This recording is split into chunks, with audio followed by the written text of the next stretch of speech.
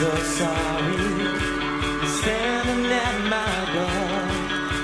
I guess this means you take back all you said before. Like how much you want me.